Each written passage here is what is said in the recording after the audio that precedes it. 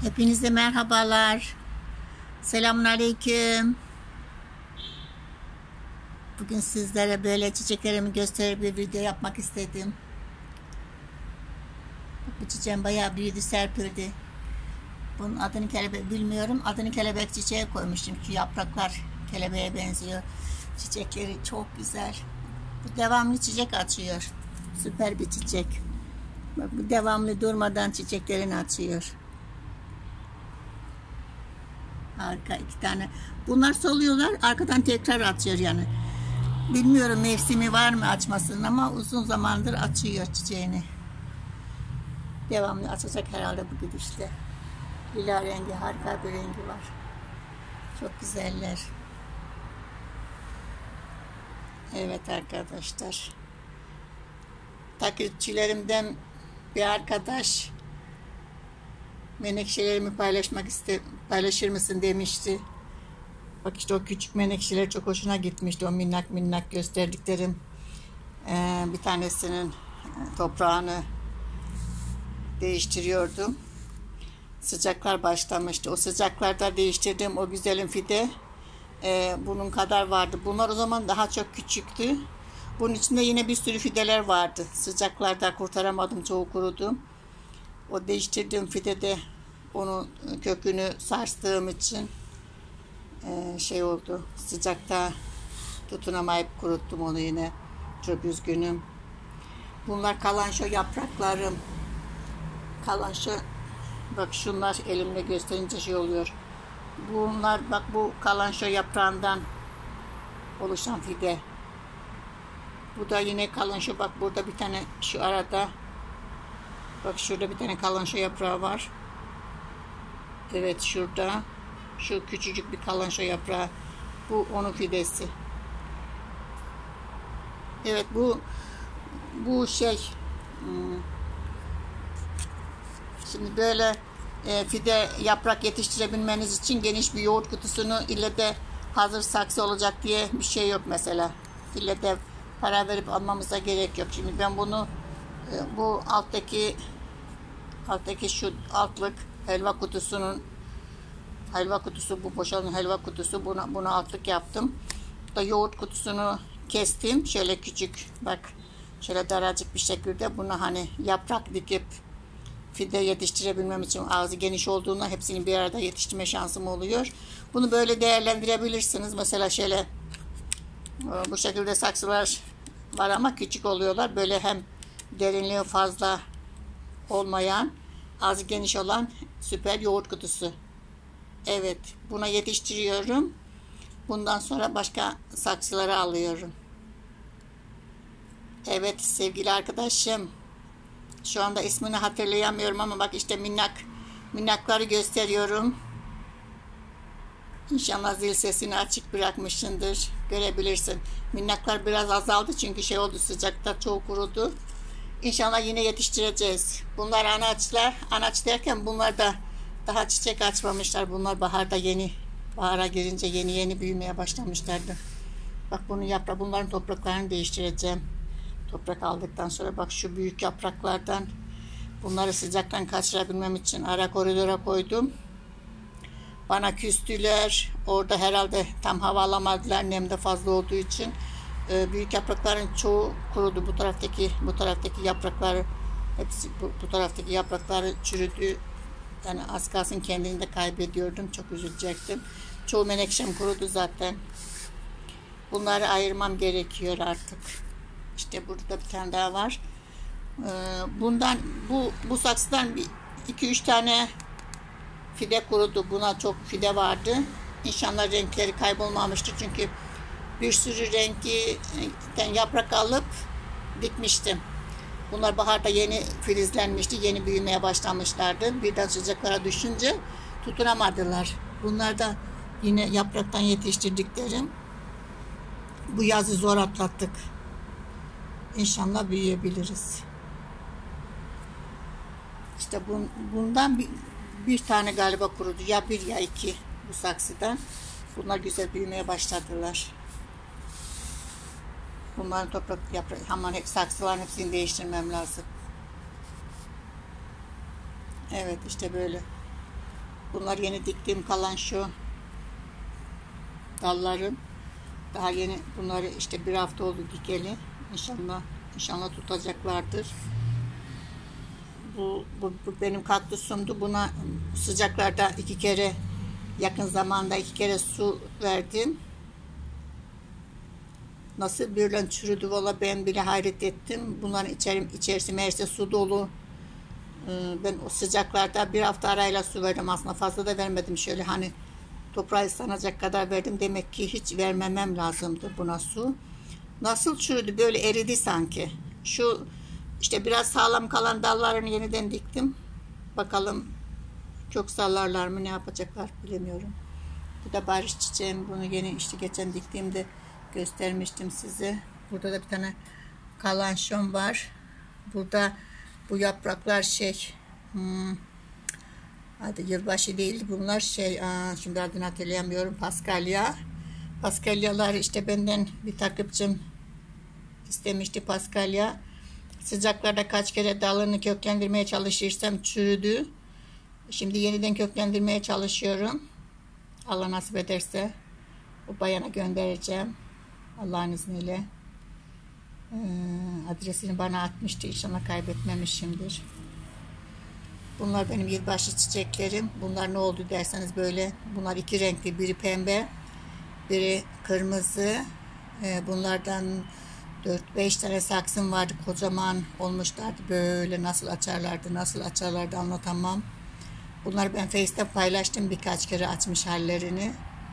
Nazara geldiler galiba. Bir geçen sene yaz sıcağında böyle birle eridiler. Valla bir dal bile kocaman çiçeklerden e, yani barındırabildiğim kuruya kuruya büyük dalları kırıp diktim. Kuruya kuruya bu kadarcık kaldı. İnşallah bunlar kurumazlar. Bakalım ne olacak. Ee, işte böyle çiçekler e, çok nazara geliyor. Annem derdi nurlarda yatsın anacığım. Rahmet olsun ruhuna. Derdi ki e, çiçek çok nazar alır e, tesirli bir göze denk gelir. Kurur kaybedersin. Çili begonyam vardı harika bir çiçekti püskül püskül açıyordu çiçeğini böyle kocaman böyle sanki böyle meneviş diyordu çiçeği çok güzel. Ee, onu da ben Face'e paylaştım. Onu da kuruttum. Çok, çok çiçeğimi paylaştım. Hepsi kurudu. Ee, işte bakalım inşallah inşallah bunlar kurumazlar. Çiçek nazar çok alır derdi annem. Bir de arı, arı çok nazar alırmış. Annesi ölür. E, petekteki arılar da kaçıp gidermiş. E, bir de şey tavuk yumurtası derdi annem. Tavuğun yumurtasını hele de bir çift sarılı çıkarsa birinin gözü tesirli olan birinin yanına e, görürse e, tavuk yaptığı yumurtayı döner kırarmış. Nazar alırmış çok tavuk. İnek, inek İnekler de çok nazar alırlar. Ee, bunları buradan size söylemek istiyorum. Çünkü birazcık e, e, koruyun hayvanlarınızı. Ee, inek çok e, nazar alırmış. Eğer gözü tesirli birine denk gelirse inek hastalanır veya kendi sütünü içmeye başlar. Tekme atmaya başlar sağmasın. İşte öyle. Bebekler çok nazar alır. Bebekler nazardan ölür derler. Çiçekler de çok hassastır. İnsanlar bile e, insanlar bile nazardan ölebilir yani. Çok tesirli gözler var. Nurlarda yatsın anneciğimin sözlerini hiç unutmam.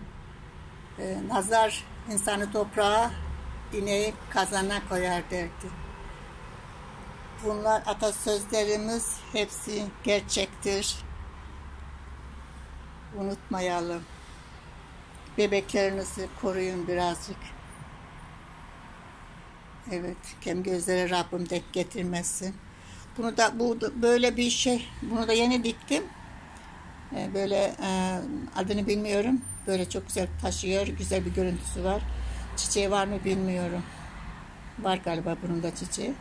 Şey bakalım serpilip büyüyecek mi? Bu barış çiçeği mi Barış çiçeğimi dikmiştim geçen. E, bu bir türlü yapraklarını yapraklarını toparlayamadım. Şu alt yapraklarını kestim. alt yapraklarını kestim. Üst, üst yapraklarının uçlarını kestim. Bak. Bak şu uçlarını hepsini kestim. Alt yaprak bu yapraklar. Bunlar büyük yapraklardı. Bunları kestim. Bir ucundaki yaprağı bıraktım. Şu aşağıdaki bedenindeki yaprakları kestim. E, diyeceksin neden kestin? Çünkü bu yaprakları e, şey toparlayamıyor. Kök kök e, toprağa iyice salıp kendini toparlayamadığı için bu yaprakları toparlayamıyor. Bu yapraklara çalıştığı için yaprakları toparlamaya çalıştığı için bu sefer köküne çalışamıyor. Yapraklarını kesmemiz lazım ki e, köküne daha güzel çalışsın, kökünü tutun tutunsun. Sonra yapraklarını yine açar. Bu da köklenmişti. Filizleri vardı bunun. Azıcık filizleri büyümeye başladı. Herhalde toprağa tutundu. Bunun daha çok kökleri vardı bu küçük dalın. Bu büyük bu büyük dalın fazla kökleri yoktu. İnşallah kurumayacaklardır. Bu çiçeğim de böyle. Bunun yaprakları kurudu. Bunu biraz yalnız bıraktım. Bana küstü yapraklar kurudu. Tam bakım yapamadım sıcaklardan. Bunun da toprağını değiştirmem lazım. Çok işim var. Çok arkadaşlar. Çok iş var. Burada da yeni kalançolar diktim. Bu da yeni fide. Bir küçük minnaktan yap, yapraktan oluş, e, yetişen fide. Yapraktan biraz geç oluşuyor. Tabii ki daldan daha çabuk kök salıyor, daha çabuk gelişiyor, büyüyor, serpiliyor ama yapraktan biraz daha sabırlı olmanız lazım. Yani sabırla bekleyeceksin yapraktan filiz çıkarmasını. Biraz geç oluyor ama harika süper filiz çıkıyor. Ben hiç yani daha önce yetiştirmemiştim. Hiç ummuyordum böyle güzel e, yapraktan yavru vereceğini. İşte bu da oldu. Bu da benim sükülentim. E, sıcaklarda balkona koydum. Güneş güneş üstüne geldi. Acayip bir şey oldu. Sarardı. E, sanki yüreğinden yeni taze yapraklar çıkaracak gibi. İnşallah kurumaz. Gelinimin hediyesi bu. Çok seviyorum. Ee, Allah'ın izniyle kurumayacak, büyüyecektir inşallah. Evet, bunu bu, bu da bunu yeni diktim. Kuruyacak diye çok korktum ama kurumayacak Allah'ın izniyle. Tutundu galiba toprağa.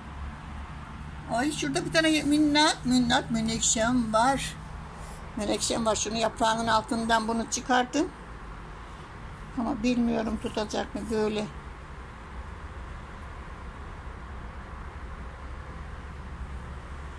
küsmüş gibi duruyor. Küsme anneye güzel kızım benim. Seni oradan kopardım mı? Allah'ım ya Rabbim halimiz ne olacak böyle? Çok fena değil mi arkadaşlar? Böyle çiçeklerle uğraşıp duruyoruz. İşte balkon balkona hiç çıksam balkon daha bir sürü bir sürü onları size sonra göstereyim. Videoyu fazla uzatmayalım. Bu kadar bugünlük bu kadar olsun. Hepinize sevgilerimi sunuyorum. Allah'a emanet olun. Güzelliklerle yaşayın inşallah. Hiçbir şey kendinize dert etmeyin. Bu dünya üzülmeye değmiyor. İnsanlar patır patır patır patır ölüp gidiyorlar. Hani nerede büyüklerimiz, annelerimiz, babalarımız, dedelerimiz, sevdiğimiz insanlar, aramızdan kaybolup giden arkadaşlarımız. Onlar da bizim gibi bir gün dünyada yaşıyordu. Aynen dünyayı başlarına dert etmişlerdi. Sanki hiç ölmeyeceklermiş gibiydiler. Her türlü sıkıntıyı yüreklerine gömüp hasta oluyorlardı. Aynen. Biz de her şeyi kafamıza takmayalım. İşte böyle demek ki olmuyor. insan elinde olmuyor.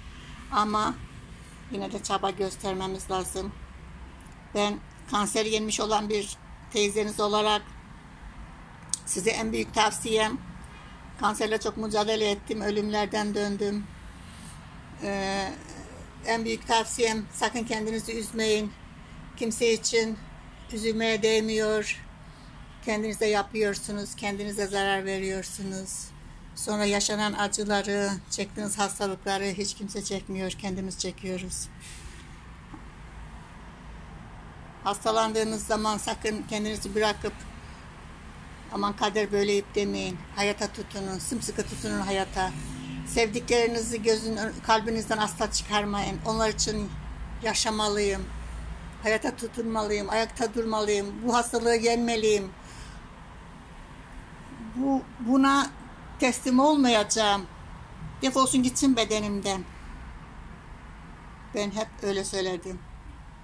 Yavrularım var. Onların sevgisine tutundum, hayata sımsıkı sarıldım ve bu hastalık benim vücudumdan defolup gitsin dedim. Arkadaşlar beni ziyaretime gelmişlerdi daha ameliyat olmadan önce. Ee, şey onlar bana teselli vereceğine ben onları teselli ediyordum. Onlar bana üzüntülü gözler bakarken ben onları gül, güldürüp kahkahalara boğuyordum. Ee, arkadaşım biri bana şunu söylemişti. Hamide sen bu bu neşe, bu kahkaha sende olunca bu hastalık seni asla yenemez. Evet. Allah'ın izniyle geçmişte kaldı artık. Şimdi sizlere tavsiyem asla hiçbir şeyi başınıza takıp kendinize dert etmeyin. Size üzen insanlar hiçbir şey yokmuş gibi yaşıyorlar. Olan kendimiz oluyor. Allah'a emanet olun. Hoşça kalın. Bir dahaki videoda görüşürüz inşallah. Yürekten sevgiler. Bay bay. Görüşürüz.